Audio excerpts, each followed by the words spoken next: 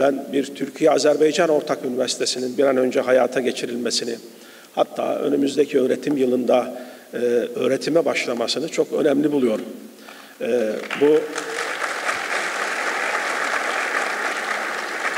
hazır Tahsin Nazırımız da buradayken bunu ifade etmek isterim. E, bu toplantı belki buna da vesile olacak. Karşılıklı olarak akademisyenlerin değişimi, yine öğrencilerin karşılıklı olarak değişimi suretiyle gençlerimiz arasında, özellikle tahsilli gençlerimiz arasında iki ülkeyi daha yakından tanıyacak insanların bulunması bizim bu ilişkilerimizi çok daha sağlam, köklü ve geleceğe yürüme bakımından çok daha etkili hale getirecektir.